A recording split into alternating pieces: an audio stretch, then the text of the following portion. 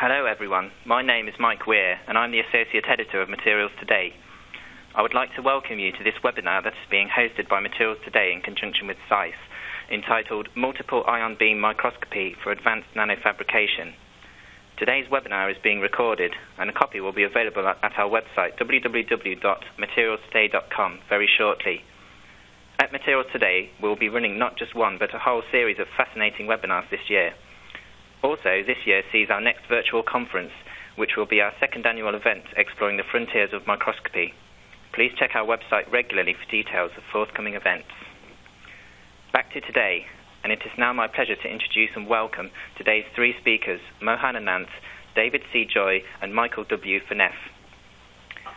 Dr. Mohan Ananth has over 18 years of experience in developing and extending the performance capabilities of charged particle instruments.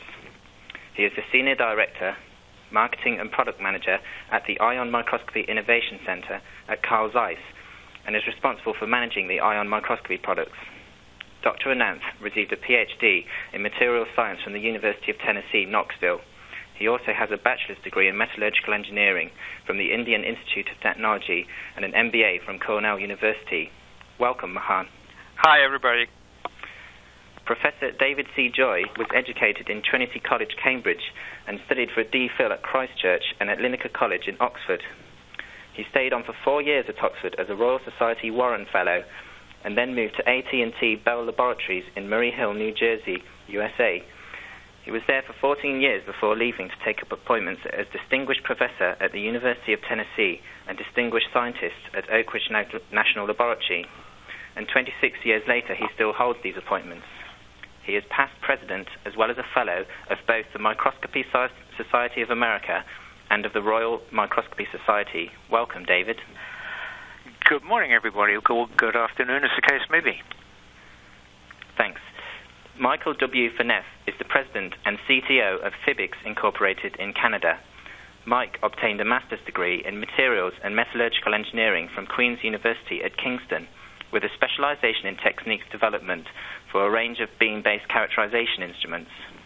Mike has been using ion beam-based instruments for nearly 20 years, and since founding Fibics Incorporated in 1996, Mike has steered the company through a combined management CTO role to become the largest ion beam company in Canada, owing at one time or another more than a dozen ion and electron columns on instruments ranging from single beam FIBs to a triple beam SIMS, and most recently a Carl Zeiss Orion NanoFab microscope installed just a few weeks ago.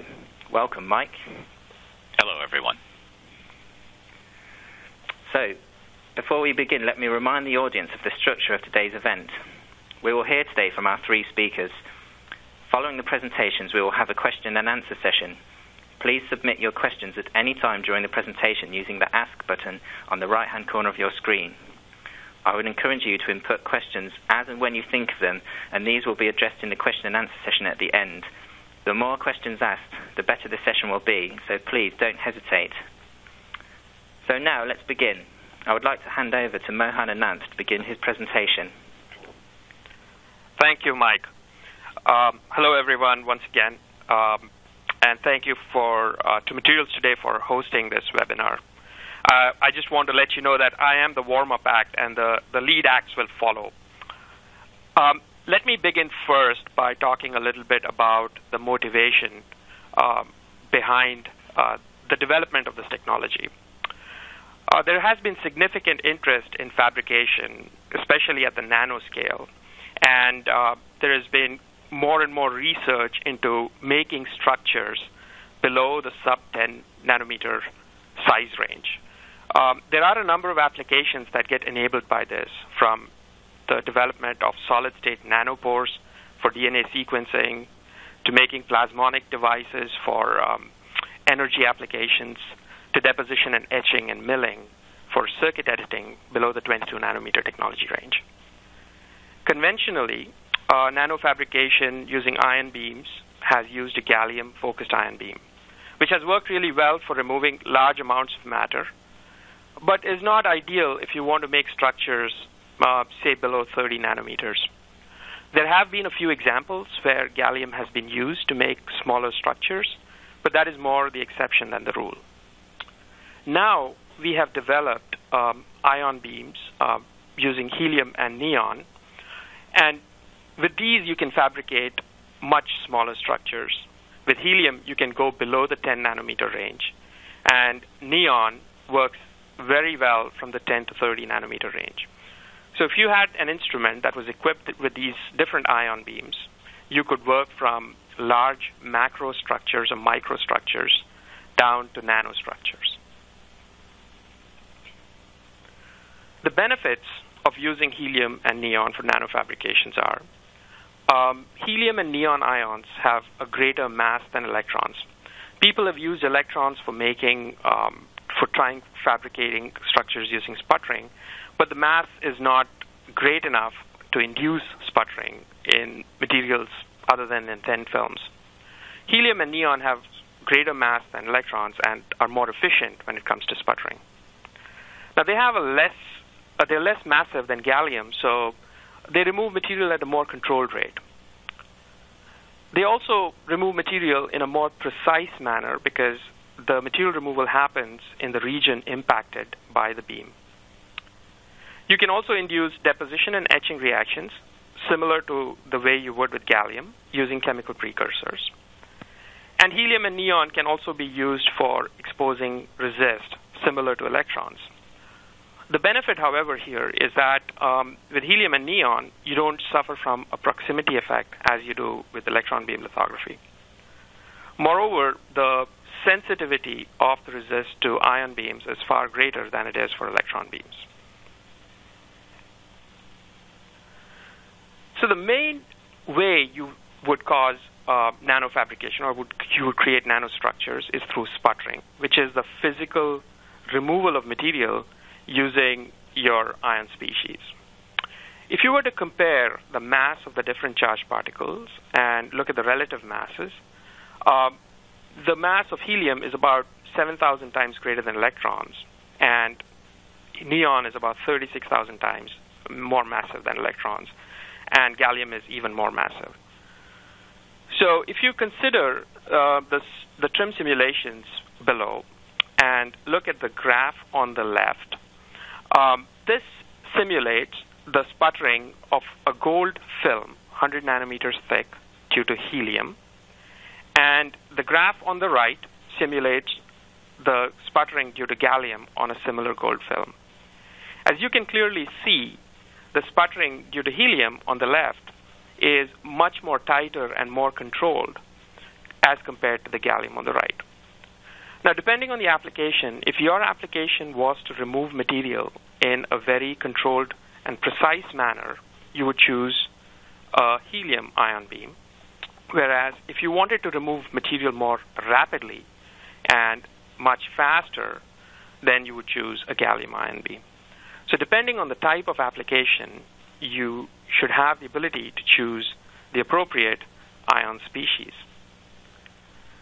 We have now combined three different ion beams on a single platform, and with this product, which is called the Orion NanoFab, you can now fabricate structures from the micrometer scale using gallium down to the sub 10 nanometer scale using helium and neon. In addition, you can get very high resolution imaging using the helium beam. It has a resolution of below half a nanometer. This is simply an example of a comparison between milling due to helium and a comparison of how helium works versus neon and gallium.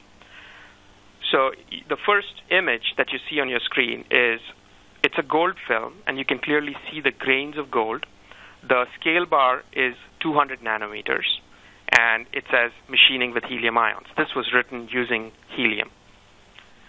If you were to compare that to what you can get with neon, now you see um, a size difference here, machining with neon. This is probably the best you can achieve with neon, and you clearly see the comparison to what you can with helium.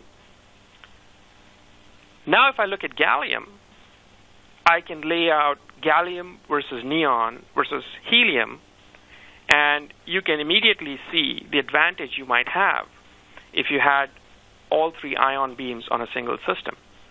Depending on what you're trying to do, you can choose the appropriate ion beam.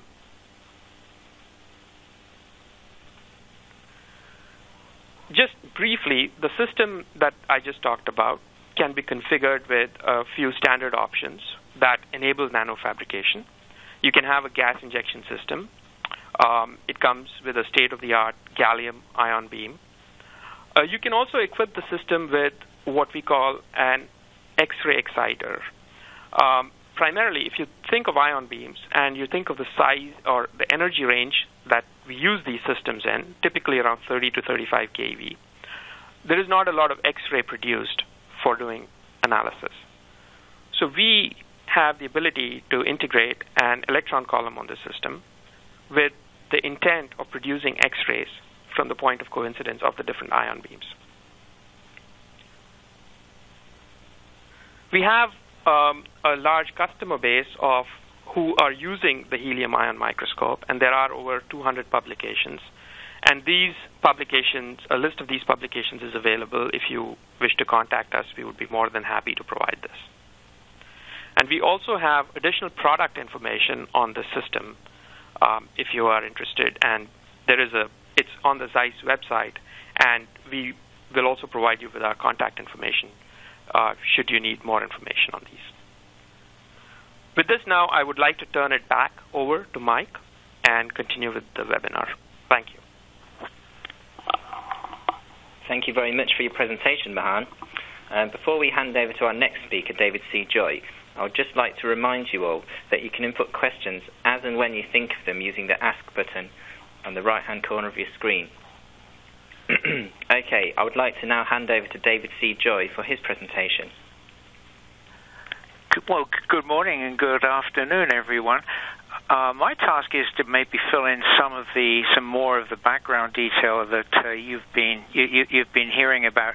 Why, firstly, are we in, interested in using ions, and what makes them better than uh, the electrons that we would normally use? And if you look at the graph that I just put up on the screen now, what I've done is to plot the wavelength of electrons and various kinds of ions. The resolution of any microscope, the smallest thing that you can expect to see, is of the order of magnitude of the wavelength of the radiation that it's using. And so, as you can see here, if we look at the electron beam, its wavelength is typically 100 times greater than the wavelength of any of the ion beams of, of interest that we might have access to. So, that factor of 100 should enable us to get substantially better spatial resolution in our images as well as in all the ways in which we use the microscope. Another important aspect is that, as Mohan's already mentioned, ions interact much more strongly with materials than, than electrons. So if you want to do something to, to your specimen, then a beam of ions is a much more effective way of doing it than a beam of electrons would be. And finally, uh, it's the way that I like to look at it is with electrons, you, you only have one thing that you can do. All electrons are the same. But once you move to ions, again, as Mohan has already mentioned, you have access to many different kinds of ions, and as a result, you've got a lot of different things that, that, that you can begin to optimize. This has been known for a long time. The images that are up at the moment, uh, just two examples. Back in 1948, uh, people were talking in the Practical Science magazine about a proton microscope. That would be a, a hydrogen microscope uh, as the way to go to get really high resolution images.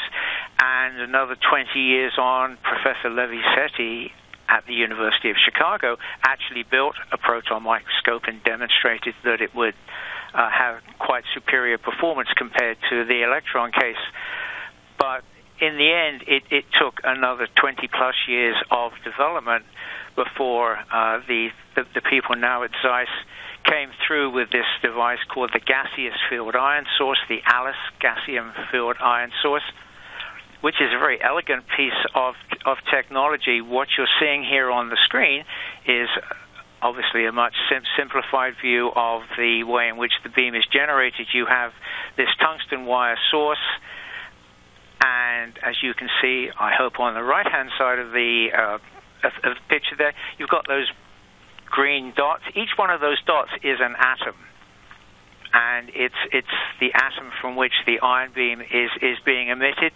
So this trimer, that, that group of, of, of three electrons there, we simply pick one of those atoms as our source, and we we now have something which is one atom in size its brightness, that's the amount of current it can put into the signal, is of the same order of magnitude as a cold field emission gun, if you're familiar with uh, standard scanning electron microscopes. So we've got a source now that's very much smaller, but equally bright and has good stability and, and an excellent lifetime. So this is this makes a very tidy package of of, of hardware, and this is uh, not the uh, Orion nanofab that you've been hearing about. This is actually the previous instrument, but I just put it up to remind me to remind you of a couple of other things you might want to know about ions. Uh, one is that uh, ions, unlike electrons, are not much affected by magnetic fields. So if you look at the microscope, you'll see that all of the lenses and uh, the scan system are electrostatic rather than electromagnetic. And another very important thing, if you can see the drawing here, you'll notice that the beam is actually almost collimated. In other words, it looks like a very long, thin drinking straw. It's instead of being sharply uh, forced to come to a point, that that collimation turns out to be uh, an important aspect of the uh, advantages of the machine. So just to summarize what we've said so far, ion beams are the, the beam of choice because there's no diffraction limit, there's no Abbe diffraction limit because the ion wavelength is so small. The beam spot size on the sample is of is actually an image, a demagnified image of a single atom, so it really, really, really is small. And the convergence angle of the beam is extremely small, and so there's, neither, there's none of the normal ab- aberrations which make the performance of the scanning electron microscope, for example, so so problematic. This is a much more straightforward system. Unlike some microscopes you may have heard of, this is not aberration correction. It's building a system which is essentially aberration free. So, just how well does it work? This is imaging performance uh, from the Orion machine. We're looking here at a film of platinum on the surface of the specimen. The graph over here on the right-hand side is plotting the response of the of the microscope to features of, of various sizes, and what you can see is we we have excellent detail right the way down to about 0.4 of a nanometer, which is uh, a pretty sensational result um, significantly better than you can hope to achieve with with with, with, with an electron-based system. Uh, a couple of other things that are really important ab- about this kind of approach is as I've already mentioned, because the beam is almost parallel, the depth of field of the image is extremely high. The depth of field is the vertical range over which everything is in focus. This is key because in an electron microscope you have to make a choice. You can have high resolution or you can have a large depth of field. You can have one or you can have the other, but you can't have both. In an ion microscope, you can have high resolution and a high depth of field, and the image that I've just put in here shows you that you're looking at essentially a cube uh, with uh, a, width of uh, about one and a half micrometers, top side to side, top to bottom, and back to front. So everything within that, that, that, that cubic area is pretty much equally sharply in focus. This adds a huge amount of information to every image that we collect in the microscope. What signal do we actually use? We use secondary electrons, which, uh, in my mind, are these the these signal of choice. They've been around for a long time and have often been treated as uh, not the optimum thing. In fact, as we now know from very recent research, se- secondary electrons are in fact uniquely capable because, as I show in this, this pair of illustrations here, they cover everything from something which is macroscopic. On the left hand side here is a, a packaged chip assembly, and so we're looking at that at a magnification of just a few tens of times. Whereas over here on the right hand side is an image of single atoms, again collected using the secondary electron image. you can go seamlessly from that sort of scale to the macro scale and, and anywhere in between. So the secondary electron signal that we generate with this machine is extremely capable and, and, and versatile. There's nothing that you would want to look at that you wouldn't be able to see using this particular approach. If we want to understand a bit more, we need to look just somewhat at the interactions of the beam. This figure here on the left-hand side, we're looking at uh, where these are com- computations of where the electrons go. Uh, the sample here is silicon, and the top image here is 10 kV, and then the lower one is, is for 30 kV.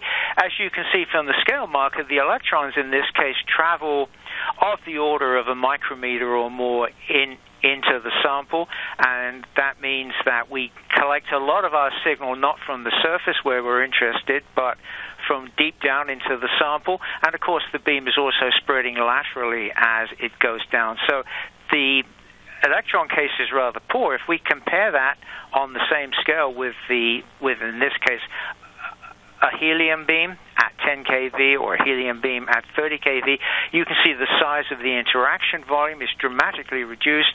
All of the information is being generated at or very close to the surface, and that makes a huge difference in terms of what we can see. If you look at an image side by side comparison of a scanning electron microscope on the right hand side and a helium ion microscope on the left hand side, the large scale features, of course, uh, appear in both cases, but you look at the helium image, you can see all of this additional information that the uh, the nanoscale dots of material on the surface, for example, are completely invisible in the electron beam case because, as we've just seen, the electron beam is blazing through the, the specimen and going deep down inside, and we're mostly imaging things that we don't really need to know anything about. So we get much higher surface contrast when we use an, a, a, an ion beam of any kind as compared to the corresponding electron case. This also means that you can look at things which would be in general essentially completely transparent to the electron beam, but will produce good imaging in, in information in a, a helium beam. Uh, on the left-hand side of this image, we're looking at a monolayer of gold. You can see nice, well-marked detail, just a single monolayer, and then on the uh, the, the right-hand side here, this is evaporated gold on carbon, and again you can see that, that extremely thin film, just fractions of a nanometer thick, gives you high contrast, high imaging contrast, and and detail. So. In addition to all of the other good stuff that you're going to be hearing about, the helium ion microscope and its its associated tools really are going to be the best way for us to be doing imaging in the 21st century. You look at something like carbon nanotubes, for example. I've put a comparison, a pair of images up here on the left-hand side. It's how carbon nanotubes look when you look at them in a conventional scanning electron microscope with an electron beam you can see, in fact, a lot of the things we've already discussed. Most of the image is out of focus because we're looking at a three-dimensional mat, and only some fraction of that is in focus. And secondly, the beam is penetrating through the material, so you you you don't get high contrast, and you get a, a lot of out of focus and not very useful detail. You look at the corresponding helium ion beam signal, not obviously not the same area, but now you can see the carbon nanotubes actually have a surface. They have contents inside and they have structure on the outside. Uh, orders of magnitude more information there than anything that you could have got in the electron case.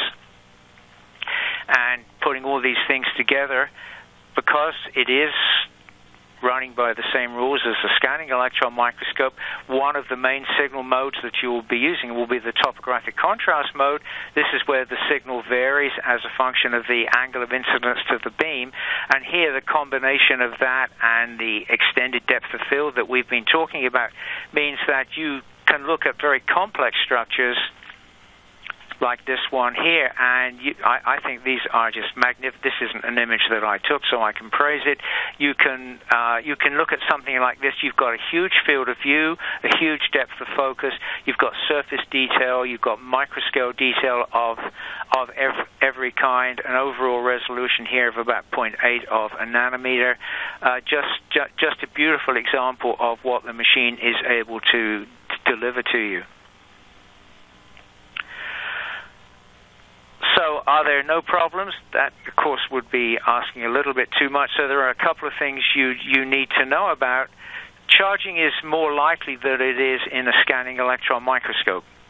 That's because the yield of secondary electrons, the number of secondary electrons that we make, is much higher. So you're taking more charge out of the sample, and unless it's a good conductor, then it will acquire a potential. So to overcome that, the uh, system comes with a flood gun arrangement, which enables you to uh, put electrons onto the surface and just bring it to charge balance. But there are also other schemes that are currently being investigated uh, gas injection is, is, is a useful one, which should be able to uh, keep this problem un, under control for us. The second thing is that ion beams will modify and damage surf- surfaces even at fairly low doses uh, because, as Hans already pointed out, their mass is substantially higher. So when they hit a surface, they normally uh, push they they break some some of that away. And so when you're planning to look at something, you you need to understand that you don't want to go immediately to high magnification, for example, because you may drill out a, substantial amount of the material that you would otherwise uh, want to look at. So you start at low mag and work up. The final thing, which uh, I think is going to be important in the long term, although at the moment it's still something we're thinking about, is as has already been mentioned, ion beams don't really generate X-rays until you get to very high energies. So, since doing microanalysis in a microscope is, is a very important ac- activity, you need some alternative way of, of trying to do chemical mi- microanalysis, and the way that looks most promising for the helium ion microscope is the so-called TOF-SIMS approach, which what you do here is you allow your incident ion to, to hit the material, and essentially you get a splash of both neutral and, and, and charged ions from the specimen. You then suck those away and you measure their mass to charge ratio, and from that you can identify what, what, what kind of uh, material it is that you're looking at. Just show you this. Uh, example here, how much in, in how much chemical information you can get from a specimen. This, as you can see the details here, it's actually a gallium beam. In this particular case, an area 50 by 50 nanometers in size. You're, you're identifying a large number of elements, elemental pairs, contaminants, multiply charged ions, all sorts of things. A huge amount of of, of detail there. So this is going to open up some, some, some very important new areas in microanalysis at the nanoscale. So just just to summarize, uh, from my perspective, ion beams are great because you get both better resolution and a higher depth of field. That's a win-win situation. And ultimately, I believe the resolution of these machines is going to go subatomic, even on a bulk specimen, which is going to be a, an absolutely amazing thing much better image contrast and less noise. And because you've got access now to several different kinds of ions, you can optimize the system for various kinds of, of, of samples and approaches. And coming soon, I think, state of the art chemical microanalysis with ion beams. So thank you very much for your attention, and let me hand you back to Mike. Thank you very much for your presentation, David. And before handing over to our third and final speaker, Mike Phaneuf, a final reminder that you can input questions as and when you think of them using the Ask button on the right hand corner of your screen. So without further ado, it's over to you, Mike. Thanks very much, Mike. So, hello, everyone. As you can perhaps see from this slide, today I'm going to aim to quickly walk you through a range of nanofabrication applications using focused ion beams. And I'm further going to define that, or choose to define it, nanofabrication as modifying a sample on the nanometer scale for functional reasons and not merely for sectioning to examine subsurface features. Now, I don't want to de emphasize the sort of art and science, which is making a TEM or an SEM cross section using a focused ion beam. It's actually very important and takes a lot of skill. But for today, I'm really going to focus on this uh, approach where nanofabrication is for a functional purpose. You're trying to create a structure at the end that is going to do something for you. And I'm furthermore going to talk specifically about direct nanofabrication with gallium, helium, and neon ion beams, with or without a uh, decomposable gas. So I'm not going to talk about things like ion beam lithography, which was mentioned earlier, which is still very powerful, just going to be outside the subject of what I talk about today. So going back to where I got started in this, the days of single beam fib, I have a nice little schematic here just to make sure everyone's on the same page, we're really talking about a scenario where we have a primary ion beam, shown as gallium in this case, that's going to come down and interact with your sample and create, as you can see on the left hand side, a number of sputtered neutral particles or ions.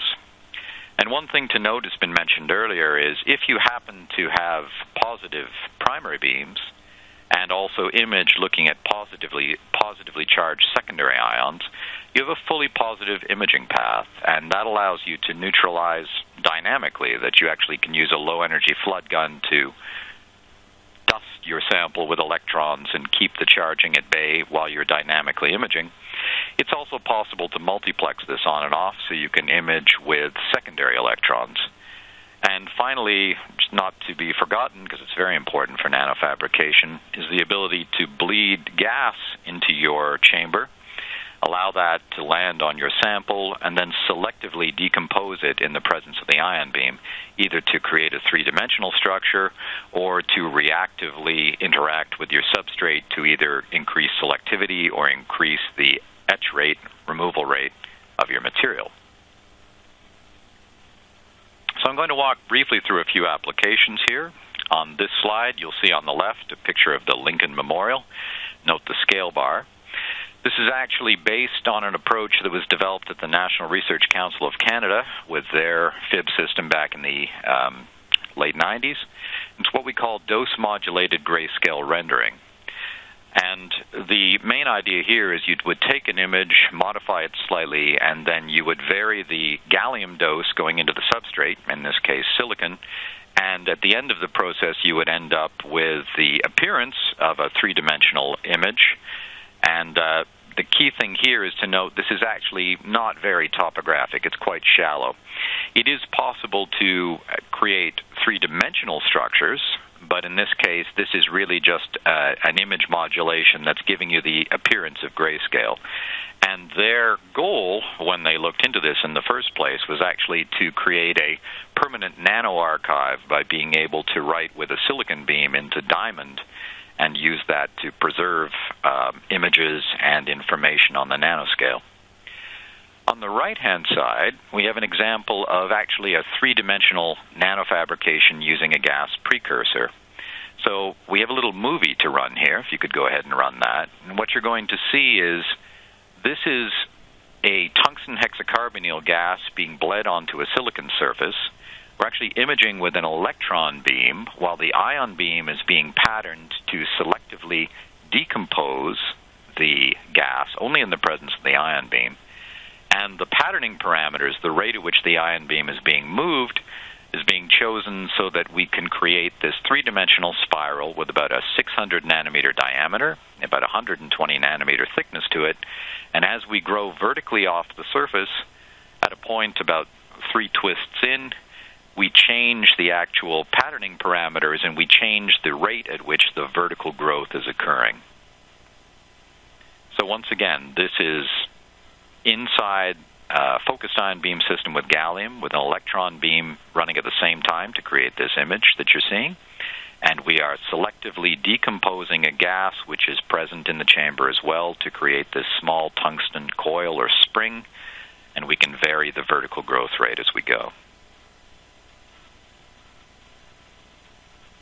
Thanks very much. I think we can move on to the next slide.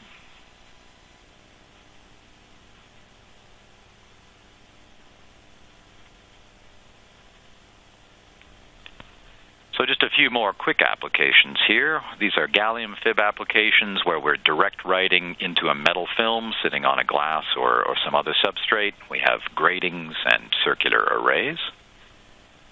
And then another similar theme is actually direct writing of zone plates.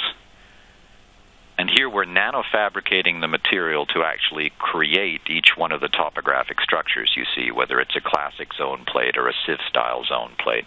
So we're removing the material by sputtering, and depending on the patterning parameters we choose, we get different sputtering rates and we can achieve different resolutions even with a gallium beam. One of the important points in any nanofabrication uh, whether it's a gas based process or a direct sputtering process, is really what we call the, the phrase patterning parameters matter. And you really do have to be concerned about what your patterning parameters are. And by that I mean things like the dwell time, the dwell spacing, the vector scanning style, beam current, etc. Because how you control the beam greatly impacts your end result. And I've tried to show that with this slide we have here four different patterns of the same shape, an, an annulus or donut structure. And for each of them, we've used the same beam current and we've had the same amount of dose delivered to the sample. That is to say, the ion beam's been on the sample for the same amount of time. The only difference is how we guided the ion beam. So on the left hand side, you can see the case where we actually delivered the beam in a single pass, and we started at the 6 o'clock position, and we milled up towards the 12 o'clock position. And as we went, you can see that the silicon substrate material was redeposited in behind where the ion beam had been. And that ended up with the result that the central pillar we were trying to create ended up being covered in part by the redeposited material. You'll also see in the foreground at the 6 o'clock position on the donut, we have a very shallow, and at the far end, at the 12 o'clock position were much, much deeper. Now, on the second example from the left, we've now delivered the dose in a very different way. Now we're delivering it in following the vector path, winding in from the outside to the inside and back again multiple times. And what's resulted here is a much more uniform removal of material, but as you can see, it's not nearly as deep for the same amount of time on the sample. The final two examples uh, on the right hand side, we've started with that same vector approach, but on the third sample from the left, we began at the center near the pillar and we spiraled outside in a single pass. Whereas on the final example, on the rightmost, we started at the outside and spiraled inward. And as you can see, depending on where you finish, your redeposited material ends up at the opposite surface. So you can either have a very clean outside or a very clean inside. But the key thing here is that how you control the beam will greatly impact your end result in nanofabrication. And this next example is courtesy of Dr. Dan Pickard at the National University of Singapore. And you see here on the left, he has machined a fractal structure into about a 40 nanometer thick aluminum membrane. And then for comparison in B and C, we have a similar structure that's machined with the helium ion beam in the Orion.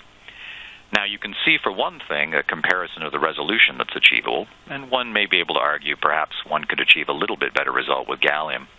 But what I'm trying to show you here is actually a zoom in looking at some of the detail that is apparent in the redeposited material on the aluminum.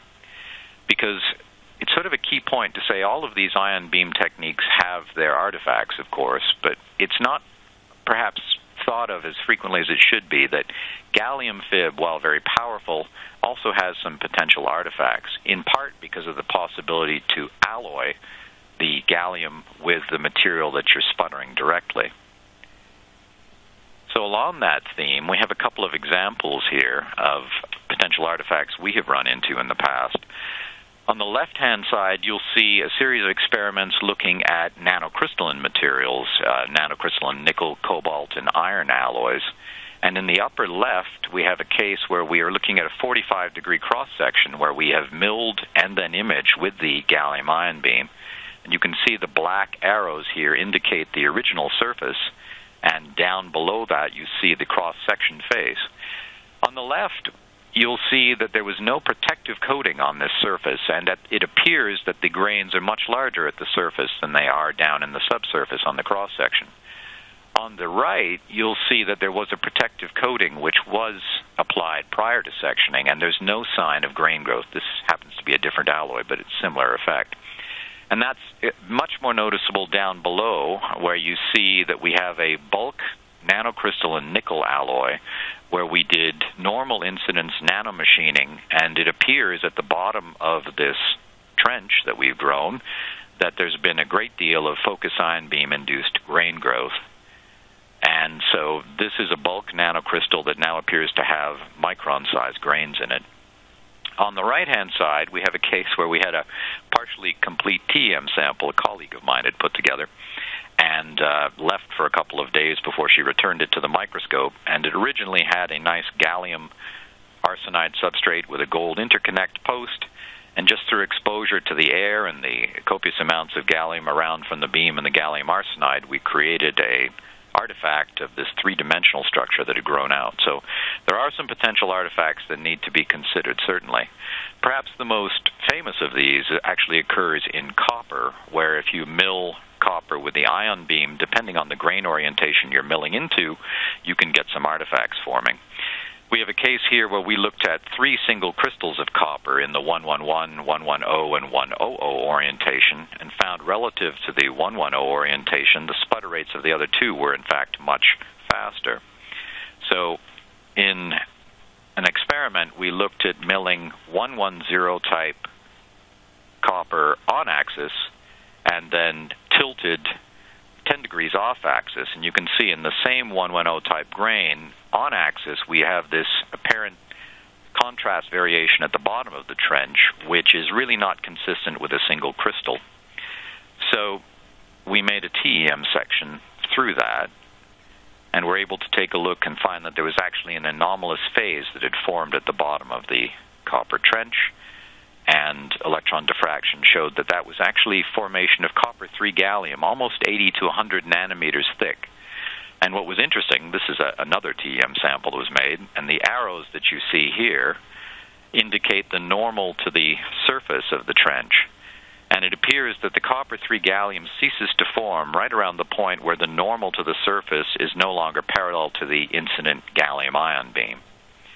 So the key thing to consider here is that there is obviously something that's happening with the 110 type plane.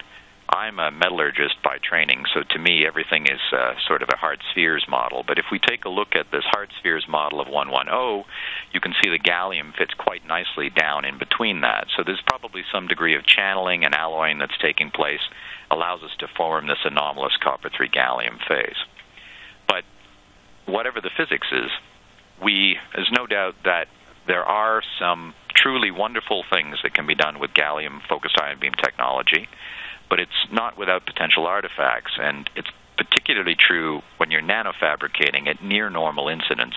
When you're cross sectioning, you have much more of a glancing angle, and these, these artifacts are less likely to occur. But when you're bringing your beam in normal to the surface or nearly normal to the surface, one has to watch out for that sort of effect.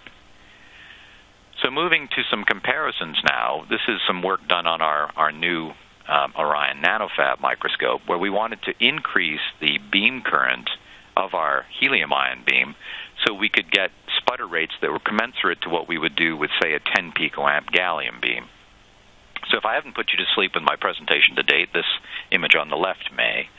But this is essentially a 4 micron field of view that we milled a gold on silicon nitride sample just with a 50 picoamp helium beam. And this took just a few seconds to actually pattern in this structure. And on the right, you can see a similar gold film that we milled with 10 picoamps of gallium with 150 nanometer pitch between the lines. And in the small image at the top, in the circle here, you have a comparison of 150 nanometer pitch as three periods of the same gold film being milled with 50 picoamps of helium. So milling uh, with higher beam currents on the gas field ion source is something that still needs some development work, but it looks quite promising.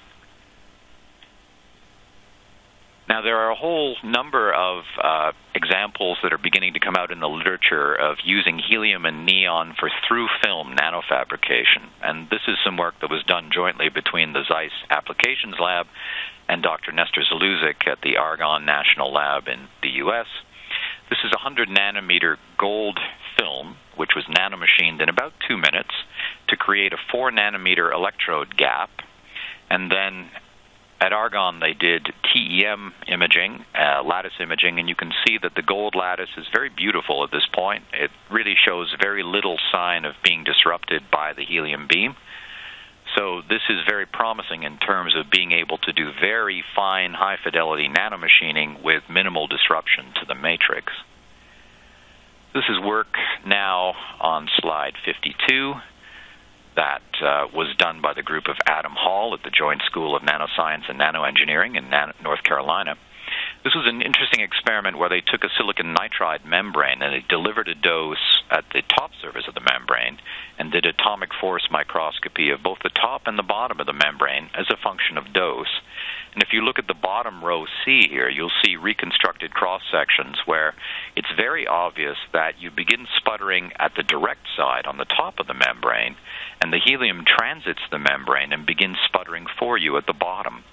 And this is a very interesting phenomena that I think needs further exploration, but it uh, could and has led to some very powerful results in terms of being able to make very large, high aspect ratio, very, very high aspect ratio anyway, structures through suspended membranes.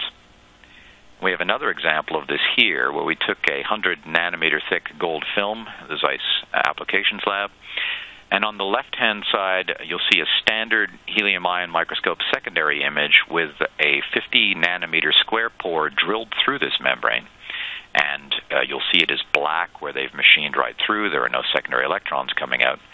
But in the top right, you'll see an interesting transmission holder where the sample can be held above, and then there's a mirror converter that takes the transmitted ions, generates secondaries that can be picked up. And in the bottom here, you will see a helium ion transmission image of a number of these nanopores. You can see a nice square nanopore down here, very cleanly done at 100 nanometers. And then a series of pores. Uh, looks like this is missing a zero, but these are actually a pair of 50 nanometer pores, also very decent fidelity. And if you make it all the way down with the eye of faith uh, on your PowerPoint, you may not be able to see, but there are in fact signals coming from a 5 nanometer pore through this 100 nanometer membrane. So the 50 nanometer pore took only about 45 seconds to drill, and as you can see, we can develop about a 20 to 1 aspect ratio that's achievable without using gas assisted etching. So this is very promising for a number of nanofabrication applications. And I'll end with a, a, final slide that shows some semiconductor nanomodification using various gases with both helium and neon ion beams. In the top left, we have an example where we have 50 nanometer conductive lines that have been deposited. These are uh, have been measured to have 100 microohm centimeter resistivity, which is very decent for ion beam techniques. In the center on the top, we have 15 nanometer insulator bands that were measured with 10 to the 11 microohm centimeter resistivity. Once again, an excellent resistivity for an ion beam induced insulator. And then we have a 20 nanometer metal line array generated on a 50 nanometer pitch. And these are, once again, they're deposited metal lines from gas flowing everywhere on your sample underneath the beam, but they only decompose where the ion beam is present. And in the bottom, we have a couple of images from a series of slices that we acquired on our Zeiss crossbeam. So this is a sample of uh, copper interconnect in an IC where the neon beam in the Orion was used to mill down first through the dielectric material and then to ultimately cut the copper line underneath. And then just a protective coating was deposited, a protective insulator was deposited prior to our sectioning. If I could ask that you could run the movie for me here, we just have a series of slices. And these slices are acquired at uh, 3 nanometers in the X and Y dimension, and then uh, each individual slice is about 5 nanometers in thickness. So we're just going to run through this via and cut. So hopefully that's playing for you. So you can see that a very uh, small narrow cut is able to be achieved in the copper using the neon beam. And once again, this was achieved without the resorting to any type of gas chemistry to enhance the sputtering rate or the, the removal rate of the copper or the dielectric. So thank you for that. And we'll move on to the last slide. So, in conclusion, I've tried to give you just a, a very small taste of some of the nanofabrication applications that are um, made possible with the Orion nanofab, which combines a gallium focused ion beam and helium and neon gas field ion sources. There really is an entire new world of possibilities to explore with this instrument. Thanks very much for your attention and thanks for all of the colleagues who were also kind enough to share their examples and their knowledge for this presentation. Okay, well, thank you very much for your presentation, Mike. Um, all three talks today have been very interesting indeed. And that brings us now to our question and answer session. And I can see that our participants have been very busy submitting questions for our speakers. Um, so what I'll do is I'll pose the questions to, to a specific speaker, um, but feel free to, to pitch in and, and help each other out with the, with the answers. Um, so I'll start straight away um, and I'll ask a question to Mohan, uh, which someone asked during his presentation, which is what is the exact role of the helium or neon to give the high resolution? Um, is it high resolution imaging or high resolution fabrication? I guess you can do both using um, the helium and neon ion beams you can use the helium beam for imaging, and as uh, David Joy explained, you get a very nice secondary contrast and additional benefits, and the resolution there is below half a nanometer when it comes to imaging. By simply changing the dose, you can then go into a mode where you're now fabricating or machining using the helium beam.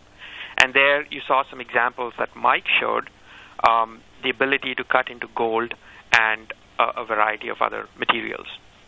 Neon offers uh, a much faster machining rate, a much faster sputtering um, of a variety of materials compared to helium. Uh, there, the resolution of the beam is sub 2 nanometers, and it has, again, the ability to very precisely cut and uh, machine features, uh, which was, again, the example, the last example that Mike showed with the copper interconnects. Uh, you can also use neon for imaging, and neon shows very nice channeling contrast, uh, especially in things like copper, um, and that that can be extremely useful for studying the orientation of the grains. Okay, thank you. Um, I have another question here, which I'll pose to David. Uh, and the, the, the, question is, uh, I would be grateful if you could please explain why the resolution of the SEM column is better than the resolution of FIB column in regular dual beam platforms?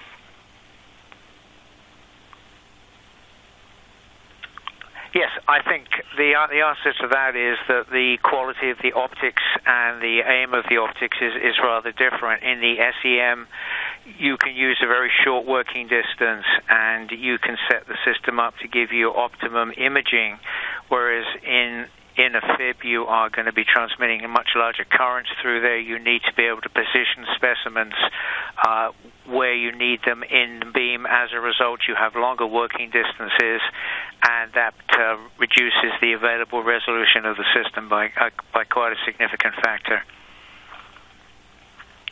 Excellent, thank you.